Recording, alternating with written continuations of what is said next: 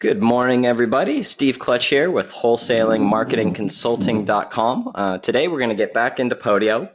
On yesterday's session, we uh, went over creating a free Podio account, uh, which is pretty simple. So if you haven't created your Podio yet, uh, you can get started for free, um, and that'll carry you quite a long way. And then today, what we're going to do is we're going to get into you know logging in and, and getting our workspace and our and our basic settings uh, set up, uh, which I imagine a lot of you already have your Podio set up.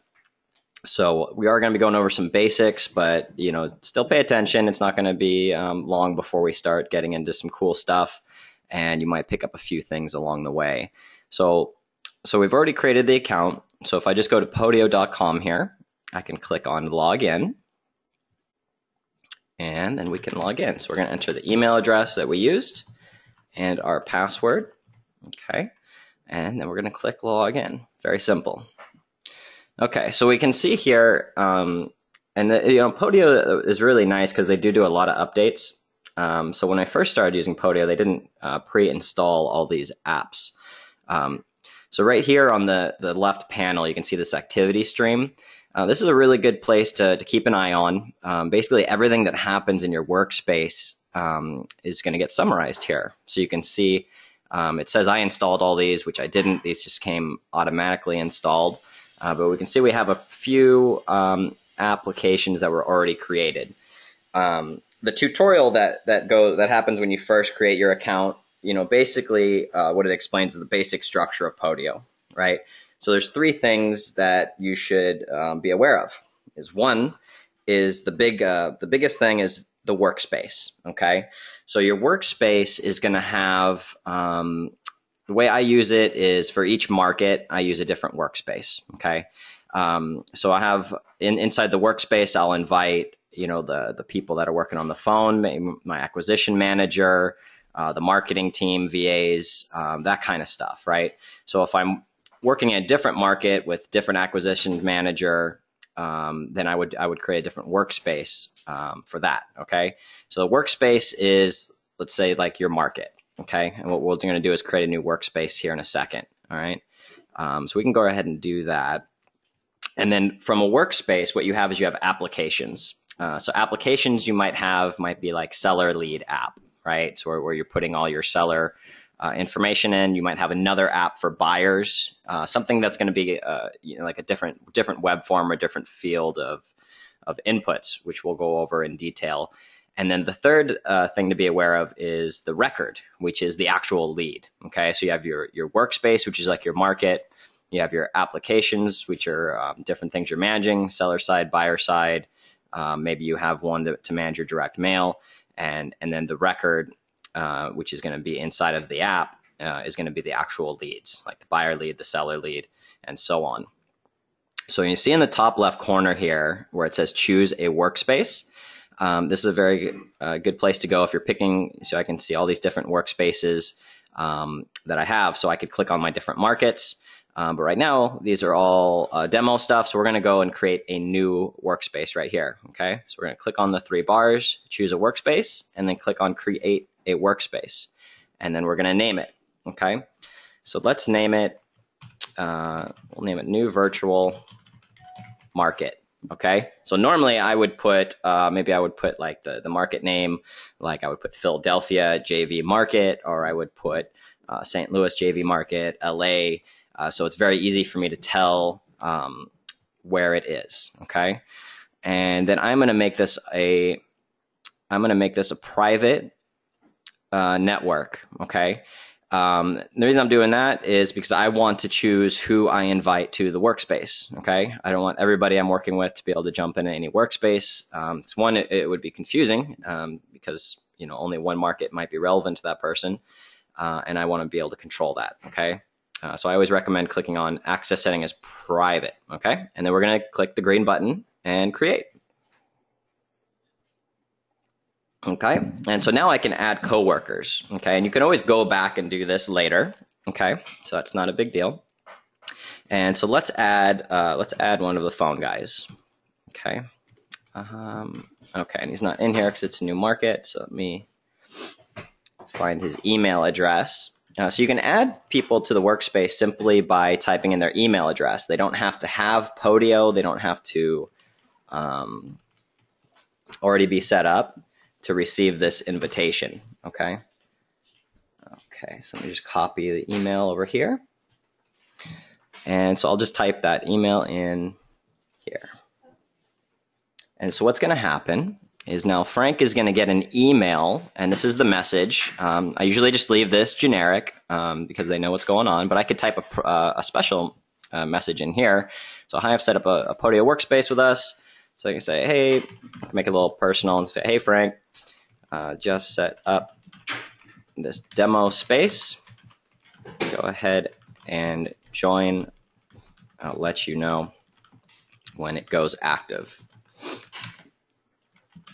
Just stand by.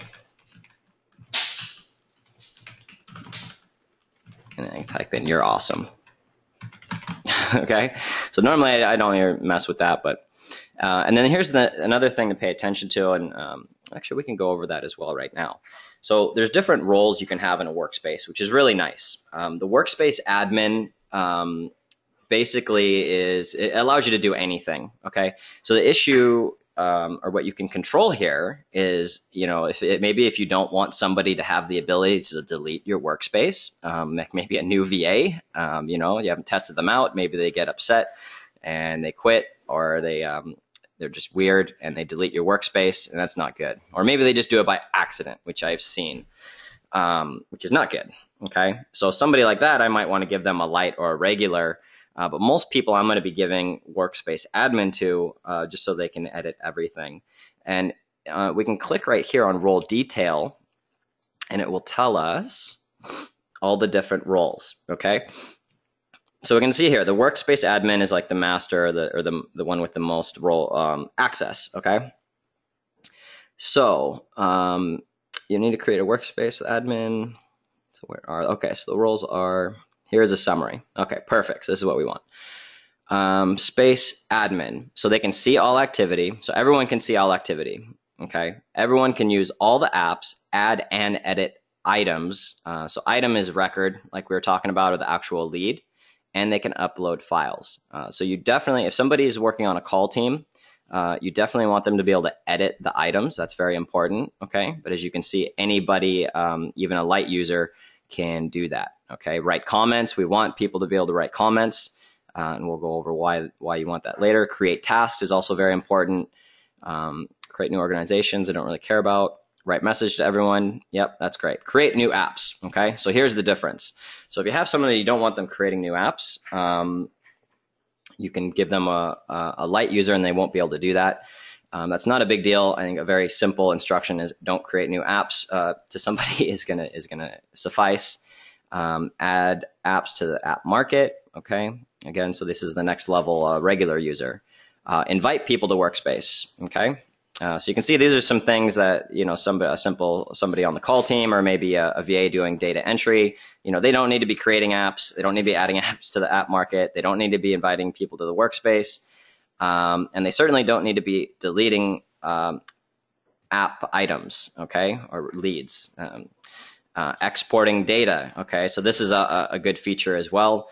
Um, th this kind of just comes with working with people um, in general. You know, if you're working with people, they're, they're, one way or another, they could they could grab the leads or, or have a, a copy of them.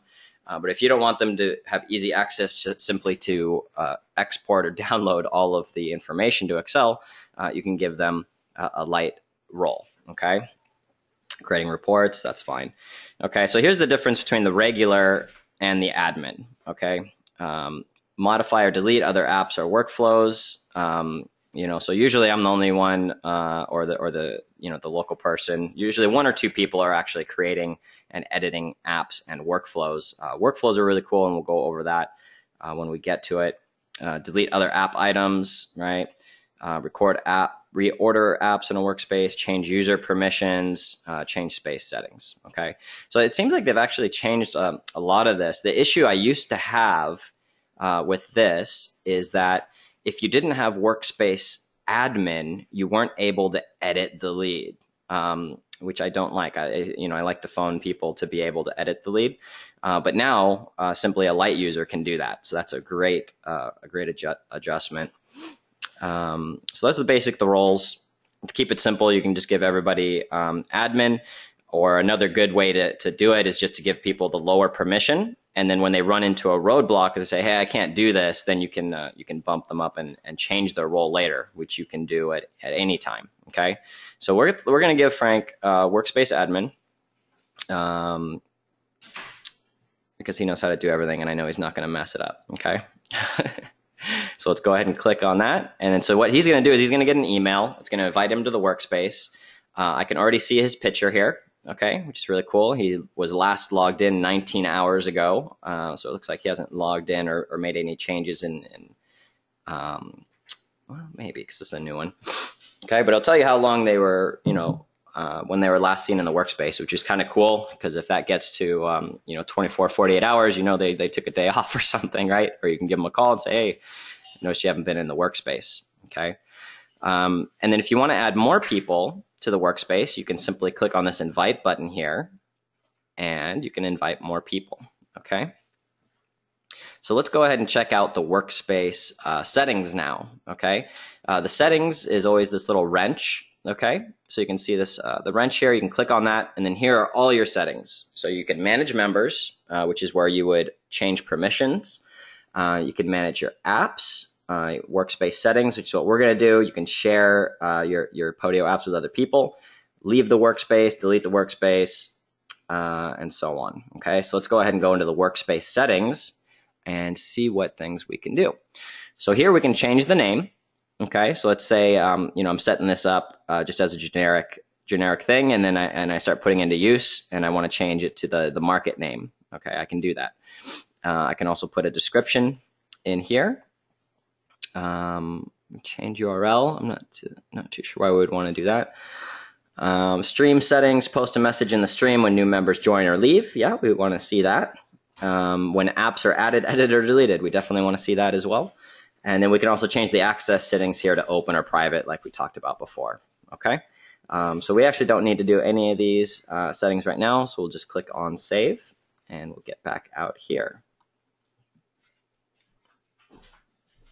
Okay, and so anytime, so like I'm still on, I thought it was going to take me out of the screen. I'm like, oh, well, how do I get out of the screen? The, the, the easy way to do that is just to go back up here to choose a workspace and click on your workspace, and then you're back here on the home screen, right? We can see the activities uh, feed. We can see right here that we added uh, Frank to the workspace two minutes ago, and that I was the one that did that, okay? Uh, so if people are randomly showing up in your, your workspace, you're not sure where they came from, you can check the activity stream, and it will tell you, okay? Um, so that's basically how to set up a, a workspace. Uh, the next thing what we're going to do is we're going to start creating uh, applications so that we can start editing, managing, and working leads. Okay, so we'll go over that on the next video. Uh, for now, uh, make sure that you're caught up on the on the first two videos. Make sure you got your Podio, uh, your free Podio account created. You've set up your first workspace um, and added somebody in there and then we'll get into adding applications and and getting into the meat and potatoes of this thing okay?